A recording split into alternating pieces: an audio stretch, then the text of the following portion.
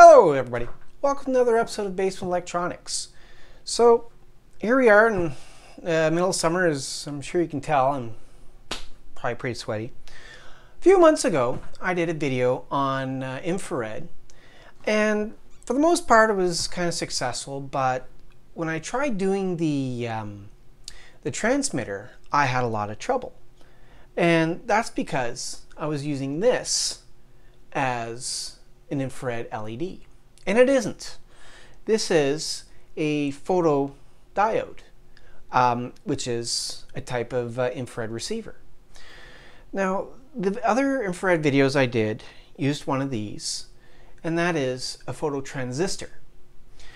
And one of the nice things about the phototransistor is that it, you can use it to help um, detect very low levels of infrared and it'll convert it to like a full 5 volt signal for your circuits. Meanwhile, this thing, you kind of get what you get. It'll, um,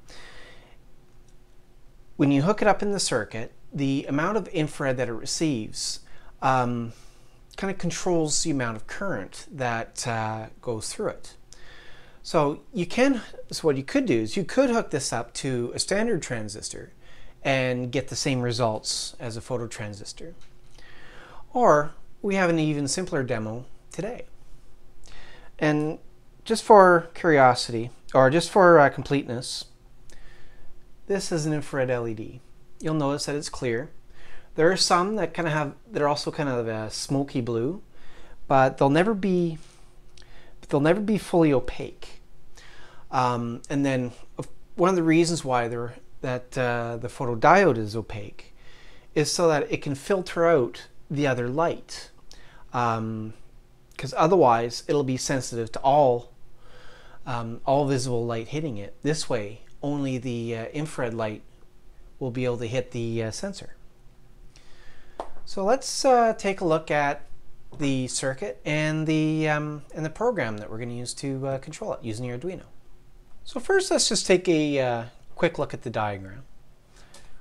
So I have it up here in the um, in the top right corner, and this is a sort of this is two circuits. The uh, so the red LED that's just an indicator. That's to show us whether um, whether the sensor is above or below its threshold.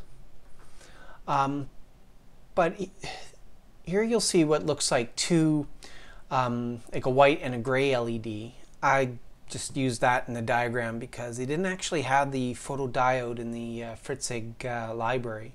So we have them facing each other and then the idea is that the idea of this demo is that the infrared LED will um, will send infrared light into the sensor and then if that beam is broken then it'll um, then it'll turn on, it'll set off the the LED, the um, the indicator LED. So it's pretty simple. We have um, so from pin two of the Arduino goes through the goes through a resistor to the photodiode,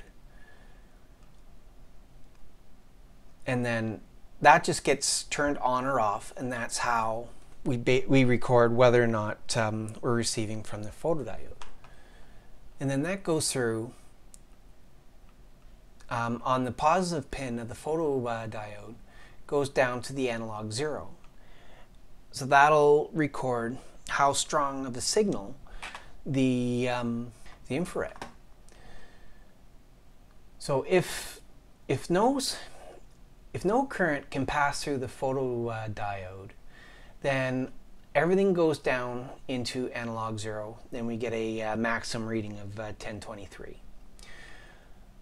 But the more infrared that hits the photodiode, then the more current that can go that can go through to ground, and then the less that our analog pin is receiving.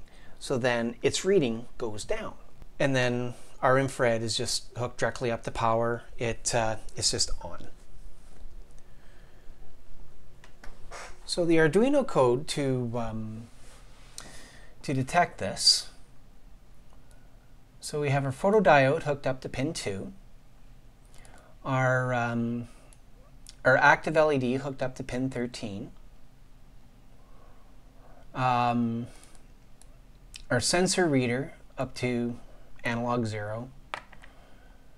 And then originally they wanted me to use a threshold of 850, but I couldn't get the um, I couldn't get the value that low.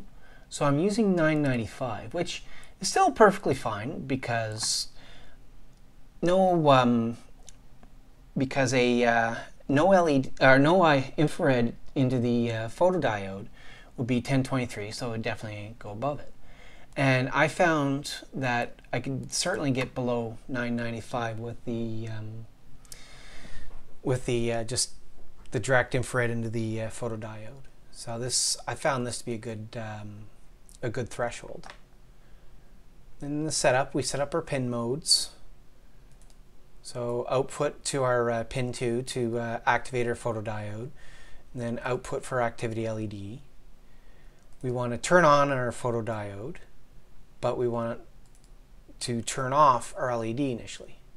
And we're also going to be watching our, um, our values, our read values to the serial.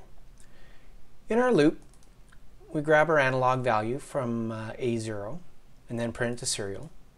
If the value is below our threshold, then set the LED on. Okay, so the LED is on when it sees infrared, and then it turns off once it goes over the, then it goes, turns off once the read value goes over the threshold. So the less, uh, so when it sees less LED, or less infrared, then the LED turns off. Then just a sanity delay. So let's see this in action. So I'm going to plug it in. And just to show that the infrared is on, uh, I don't know if my camera's picking up my phone or not, but if you use your phone camera, you should be able to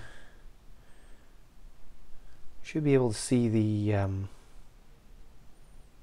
the glow of the infrared with your phone. Fortunately, my uh, my camera, my other camera, doesn't really um, pick it up because there's a filter on it. So that's running. Let me pull up. So there's our serial monitor. And you'll notice that the value that it's pulling up is around 979, 980.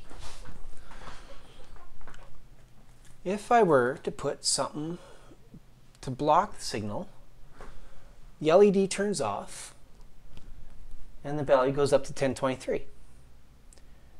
Then we bring it back, the value goes back. I moved it so it's not seeing it all. So if I realign it, LED comes back on and our value goes, oh, that's a good value, to 967. So this is so this is um, very, very basic transmit and receive. When you use an infrared remote like this,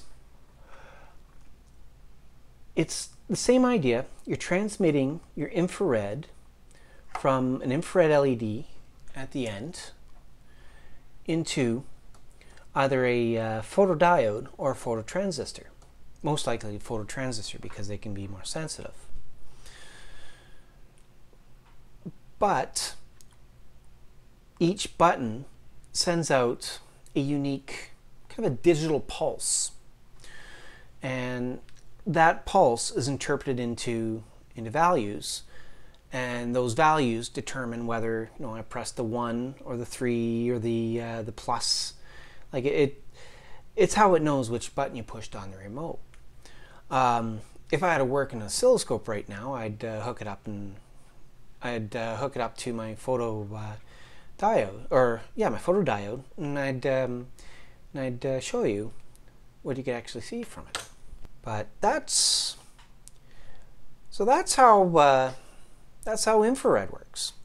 Um, I've seen projects where where I can transmit serial information across because you know, it's all about um, encoding and decoding those uh, light pulses. And just like, uh, and just like, um, you know, your standard um, high lows, as long as you can set some sort of threshold, you can tell it whether it's on or off. So that about does it for this video. I hope you found it interesting, if not informative, and I'll see you next time. Goodbye.